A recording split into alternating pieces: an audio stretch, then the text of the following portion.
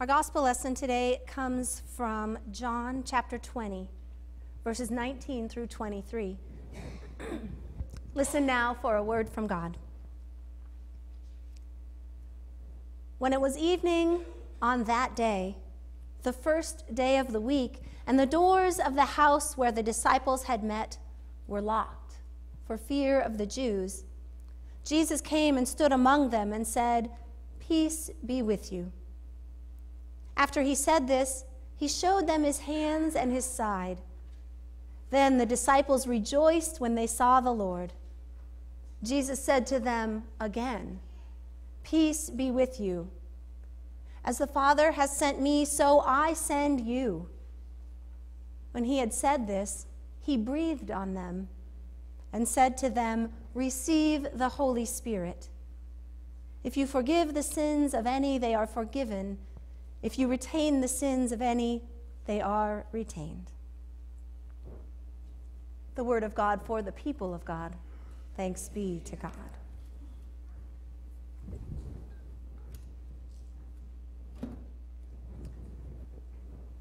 It is Easter afternoon. The hymns have been sung, the eggs are all hunted, the meal has been shared, and naps have been taken. And now the thoughts of all the people who have gathered begin to turn toward the upcoming week. I wonder why my boss wanted to have that meeting with me. I bet I did awful on that test. I haven't heard back from the doctor about those test results yet. Is no news good news? How will I get everything done?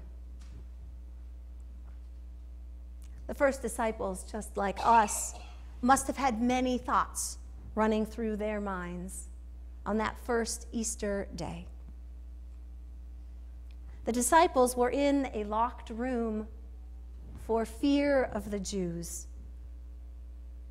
Now remember that the disciples were Jews. This line is very context specific.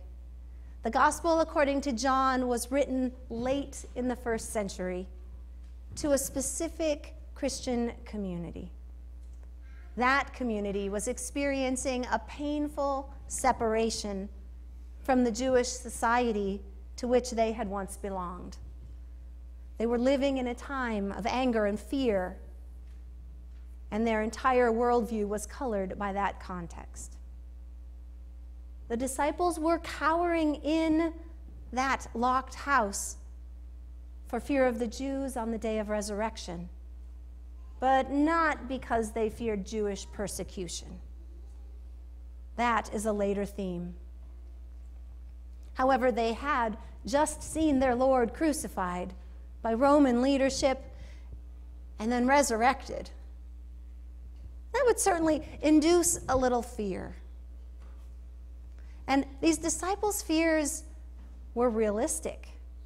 They lived in the Pax Romana, this peaceful Roman rule, which was maintained through great oppression. They had just seen a person they loved crucified, and they fear that they may be next. We have fears too, and they are just as realistic. We wonder about the state of health care in our nation. Some applauded the Affordable Health Care Act, and some were fearful of its consequences. And now, some applaud its reform, and others are fearful of those consequences. Some fear immigrants and want to go to great lengths to keep people with a different skin color or religion or language out of the United States. Others fear the persecution and oppression of newcomers and of their families and friends who peacefully contribute to the greater good of society. Some believe that guns are a great evil and perpetuate cycles of violence and power Others believe that free access to purchase and carry guns is an inherent right and will make our society safer. Some people have begun avoiding public spaces and large gatherings of people for fear of terrorists. The fears of those early Christ followers that first Easter day and our own fears are realistic ones, no matter which side of an argument you are on.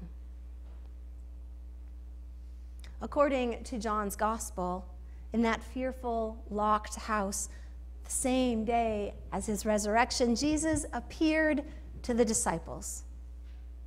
We don't know which disciples were there. I don't believe it was Mary Magdalene who had already encountered the risen Christ, or that it was Peter or the other disciple who had been to the empty tomb, to whom Mary had announced, I have seen the Lord. But into that locked house, where any number of disciples were cowering, Jesus appeared right in the middle of their fears. He showed them his wounds, proving he wasn't a ghost. And he greeted them with the familiar words Peace be with you. Those words, Peace be with you, that was a common greeting, not something that would really induce much thought. But then Jesus insistently said them again. The first time they were a simple greeting, but when said twice, those words gather our attention. They are a fulfillment of a promise Jesus made before he died. And they are a powerful benediction that introduces the commission Jesus is about to speak. Now, we like to think that peace means tranquility with no conflict. But clearly, that definition doesn't work in this situation. Jesus must have meant something else, another kind of peace. Susan Eastman states clearly, he brings a peace that originates from an enigmatic source beyond the status quo of the Roman Empire. Jesus is offering a different peace than the oppressive order of the Pax Romana. And this is also a peace that is issued to us. For tranquility and the absence of conflict will surely elude us when we talk about guns and healthcare and immigration and terrorism and public policy. This is a peace that looks like witnessing to Jesus Christ, sharing the story of his life and his love, and sharing our own story of how we are participants in God's story. This is a peace that shows up to a ragtag bunch of disciples locked in a room for their fear and it shows up to us, locked in our fear, and yet still commissioned for a purpose.